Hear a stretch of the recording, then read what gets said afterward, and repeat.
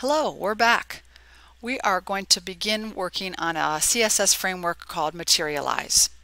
There are other frameworks out there. Another one that's very popular is called Bootstrap. You may have heard of it. Uh, there are quite a few. Uh, this one is um, materializecss.com. So go ahead and um, go to their website. And uh, a framework is is a one way to add some some components to your site that you often have to add, like a form or a nav bar or buttons. And these are very professional looking and they're very easy to just grab and put into your site. I, I um, often use certain components. I have never built an entire website using a framework. I think it's a little bit too much of a shortcut and I don't think it's as professional as building your own and using your own creativity but I do like to use it for some of the constant features that you need like forms and nav bars and such. So when I go to one of these um, sites I go over to the spot where it says components and click on it and see what they have. So they have some of the same similar ones that others have. They have badges, buttons, different things. The ones I always gravitate to is navbar and um, forms. And sometimes I've used cards in the past, and they're just different things that you can add to your website. So, for example, if you click on cards, um, you will see what they have to offer. So they talk about what a card is, and then they kind of show you examples of what it would look like. So if you were um, wanting to add some informational parts to your site and you wanted a nice title and a little description and this is a link and this, you know, then it's just there. It's just, it's beautiful. And then they give you the code that you would use. And this one's an image card. So an image card where you would have an image and then you'd have some information and there's a link and it's just, it's lovely. And then they give you the code and all you have to do is copy and paste it into your site. So we're going to go look at nav bars. Let's do that first. So let's go check out the nav bars. And so you can, again, you can look at all the documentation and, and basically just pick one that you like. So I quickly took a, a look and I decided to grab something that was kind of simple. So the one I picked was called Centering the Logo. So this is the one I picked. And they talk a little bit about it and then you can see an example of it and then you can see the code.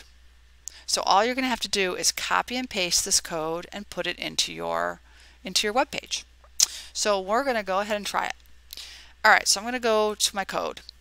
And what I decided to do is I wanted to keep my old contact page that we had created together. And if you go back and look at it, it was here and I wanted to keep it because I wanted to keep the form that we had created together. So what I've decided to do is create another contact page.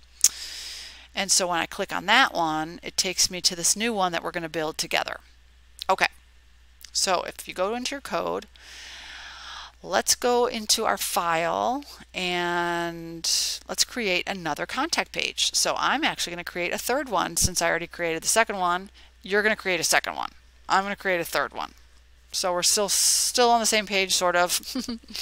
okay, so I'm going to go ahead and hit my new file. And I'm going to call this one contact 3. I know, you know what? I'm going to I'm going to call it contact demo because it's a demonstration. Okay. Dot .html. All right. And you can call yours whatever you want. Okay. So here's my contact demo.html. All right, so what we're going to do is what we usually do is type in HTML 5 and get our boilerplate. And I'm going to change the title in the meta head. I'm going to change it to demo contact. You can call it contact 2 or whatever you want to call it. Actually, you know what? We can call it Mm, yeah, let's just do that. Demo contact. I, I could say it's contact materialize or whatever. Okay. All right, so now what we need to do is we need to go back to our materialize And the first thing you need to do is let's go back to the home page. So I'm just going to go back to the home page. I was at the cards. Now I got to go back to the home page. All right. So I'm going to hit, get, I'm going to click on Get Started. now there are ways that you can grab it and one way is to download it, but there's an easier and faster way. We are going to use this thing called CDN. All right, so we're going to copy and paste a few lines of code and that's how we're going to uh, be able to use all of the features. So the first line of code is the compiled and minified CSS. The second one is, is the JavaScript. So let's do one at a time. So let's start with the CSS one. It's basically another, it's like a link to a style sheet. So it's the CSS that they, that they have built. So we're going to go ahead and copy and paste it all. And so control copy and I'm going to go back to my code and we're going to be putting it in the head of our document. So I'm going to go right underneath my title and I'm just going to paste it in. Okay, so we got that. The next thing I would like to paste in is I would like to paste in our own style sheet that we have created, remember? Because we're going to use some stuff in there as well. So let's go ahead and just type in link and hit tab and then here we're going to put in style the address style.css so that's our folder where we're keeping our style sheet. So that's the, what we put there. Okay. Then we are going to go back to materialize and we are going to um, copy and paste the second line of code which is the script tag so I guess I have to go down here and copy and paste. All right. It doesn't want to work, so I'm going to start at the end. It's very, it's being very tricky. Okay, there we go. All right, so Control C, and I'm going to go back to my code. Now we are not going to put this in the head. We are going to actually scroll down to right before the closing body tag and I'm just going to kind of give us some space and I'm going to copy it and paste it here. I mean paste it here. So the script tag needs to be pasted just in front of the closing body tag because you don't want your any JavaScript to load prior to your CSS or to load prior to the rest of the HTML page uh, because it will slow down your page so everybody always puts the script tags at the bottom of the body tag, the body, the bo area of the body, right before the closing tag. Okay. So now we have everything we need um, to get started. All right. So the first thing we want to do is we want to create a nav bar. So um, let's go back to materialize and let's go back to our components and go to the nav bar component and we can get any one we want. I have chosen to take the centering the logo one. I did want to show you the active one. This one's called active items. I wanted to show that one to you first before we take the other one. This one is very calm. It's a, this one's a popular one because it has this shading for an active for it's called the active um, link. When you hover over links, they get by default they're going to get shaded, and that's a nice little feature, and that's part of their styling. The active part is what that stays shaded. So it basically, hey, I'm on the home page, so it's going to be shaded. It whichever one you want to be constantly shaded. And how they they um, make this happen is on that particular link, the one they chose was the third one, they just wrote in active in parentheses as one of their classes. And that just does it for them. So at this moment, I wanted to point out that the code that you're going to be copying is stuff that you're going to copy and paste into your HTML. It's not something you put in your CSS. Because they're they already have their own CSS that's already by default part of this. So we're putting all this in the HTML page and then it's going to automatically just have that style without doing anything in CSS. All right, so let's go up to the one I've chosen, which is centering the logo. So I'm just going to go ahead and copy and paste all this code. Control C, go back to my code, and I'm going to just throw it in there. Control V. All right. Okay, I'm going to hit save. So I'm going to uh, right click and I'm going to say open with live server so I can see it. And okay, so there we go. We got logo, we got all this stuff. This is what it looks like. All right, so this is my contact demo HTML page. All right, so what I need to do is I need to fix all the links so that they're correct. And I need to connect it to um, my other nav bar that I created, you know. So let's go ahead and do all that. So the first thing I want to do is change the word logo to contact me. All right. And then um, let's see. Let's change this to index index.html and let's change this to home. So that's our home page, and then we're going to do our about page, about.html, and then we'll change this to about. Okay, and then next we're going to change this to our first contact page. All right, and this will say contact. And then I'm going to make another one. So I'm going to copy and paste I'm going to make another link. Copy it, paste it, and let's make this one called the contact.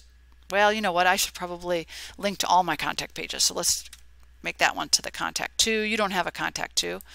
So I'll just put two here. Whoops. And then I'm going to do another one. And this one's going to be my contact demo one. And this one is going to be demo contact. Okay, so this one's got all of them. And then what I need to do is save it. But you know what else I need to do? I am going to go to my contact to page, which is right here, and I'm gonna I'm gonna add that link here. Oh, I already did. Um, but that's what I need to do. I need to add it here so that I can navigate back and forth to, to, to the two different pages that I want to. So this is a little bit more complex than it should be because I'm sure I have like three contact pages, but you kind of get the idea. All right, so if I hit save, let's go back. All right, so now it says contact me, and then I've got all my links. Yay! All right. Okay, so did you notice that the nice feature that this one has is that these are shaded every time you hover? All right, so that's kind of nice. Now, what happens if I change the color? We can change the color. Um, we can do a lot of different things. Let's see. We can make this move to the right. We can make the links move to the right. Let me show you how to do that. So let me go into my contact demo one. All right, so this is our new nav bar. Okay, we can't change nav wrapper we can change this. And the reason I know that is I, I read the documentation. So if you read the documentation in Materialize, it tells you kind of what you can do to change different things. So this one says you can make it right, left, or center. So I'm going to turn it, I'm going to make it right, hit save, and it's going to make the logo go to the right, which is way over here, contact me. All right, I'm going to put it back to center because I like it better in the center. And then the next thing we can change is this class left. We can change that word to right. And that's going to change the links. And that's going to make those go to the right side. Now notice I'm not changing any of this stuff. Don't want to change any of that. Don't want to change nav mobile. So that you, you got to be selective about what you're changing. You make sure you read the documentation. Um, so I think I saved it already, but let's do it just, just, just just in case. And then all my links went to the right. Okay, now in order to change the color, the background color, I'm actually going to have to do that in my C in my CSS or our CSS. So I'm going to go over to the style CSS, but before I do that, I'm going to notice that there's this class of nav wrapper. Okay, so that means that's separate from the nav. So I could target the nav wrapper and change the um, color of just this one. And then the other ones can stay the aquamarine. So let me show you what I mean. So I'm going back to my CSS and I have my nav is set as aquamarine. I can change that color and all my navs on every single page will change.